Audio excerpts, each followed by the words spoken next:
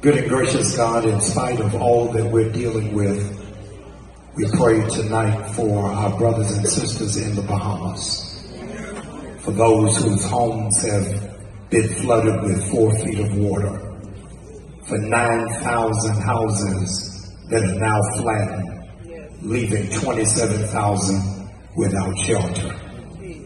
We pray tonight for the children at the border who are living in cages we pray for those who are living in fear of their lives. Yes.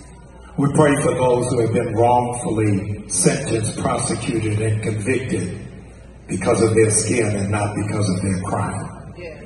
We pray for a hedge fence of protection for our daughters and nieces who are being subjugated to human trafficking.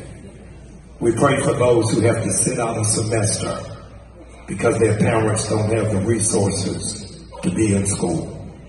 Now, God, we pray for strength for the person whose hands we're holding so that we can make life better for somebody else.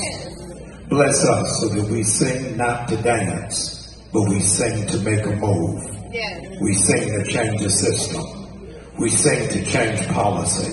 And we change, sing to make a better life for the generation that is yet unborn. We pray this prayer not in our own strength, but in the name of an innocent black man by the name of Jesus, who was crucified by a government, who was threatened by a man who had power. Give us that same strength. In Jesus' name, amen.